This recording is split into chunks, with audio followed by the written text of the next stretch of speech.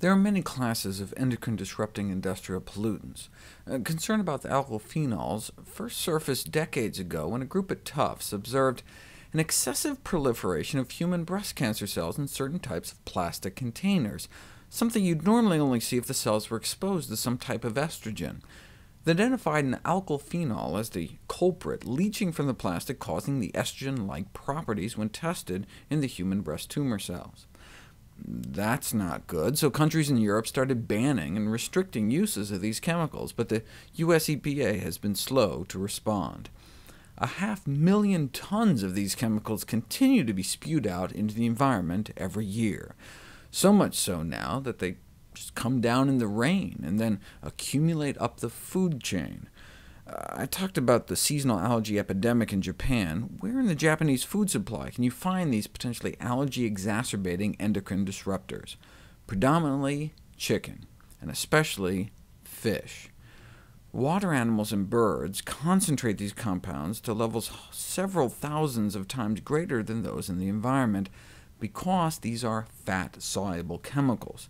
Therefore, they can easily contaminate foods of animal origin, which are thought to represent the most important source of human exposure to many organic pollutants, not just the alkyl phenols.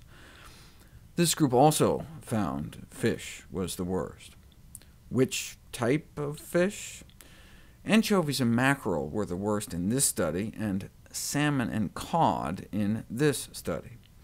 In fact, salmon was the only food found contaminated with nonylphenol diethoxylate, which is even more potent than regular nonylphenol and levels of contamination in fish were just the kind of concentrations that start to make you know, breast cancer cells go crazy in vitro. These findings are consistent with the fact that seafood consumption has been associated with severe asthma, uh, current and severe rhinoconjunctivitis, which is like seasonal pollen allergies, and current and severe eczema, an allergic-type disease of the skin, in adolescent populations around the globe. If these synthetic xenoestrogens are playing a role, what about natural phytoestrogens, like in soy foods? Turns out that in patients with asthma, consumption of a diet with moderate to high levels of soy phytoestrogens is associated with better lung function and better asthma control. So, if anything, it's more these chemical pollutants, which come down the rain, contaminate the plants, the soil, but then concentrate up the food chain in the fat of animals and we're now like the ecosystem's peak predator, like the you know, polar bear or bald eagle. Thankfully, there aren't many cannibals around anymore, though there is one group that continues to feed off human tissues.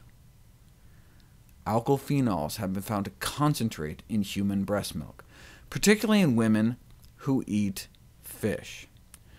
The highest levels of these endocrine-disrupting pollutants were recorded in milk samples from mothers who said they ate fish at least twice a week, consistent with the fact that seafood consumption represents an important source of alkylphenol intake.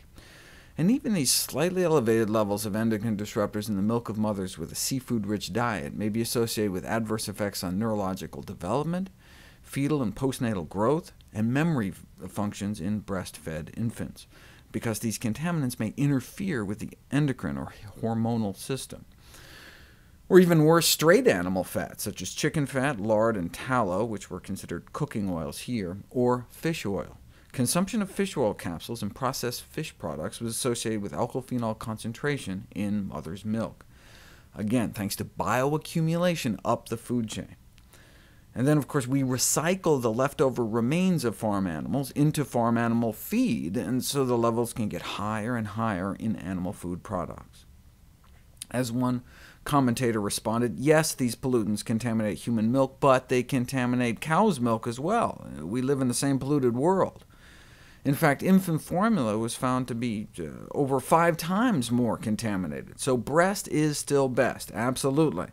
But these kinds of studies are important in order to provide good suggestions for food choices to nursing mothers, to prevent excess exposure to these pollutants in their infants. We can kind of cut out the middle fish and move lower down the food chain in hopes of decreasing our exposure to industrial toxins.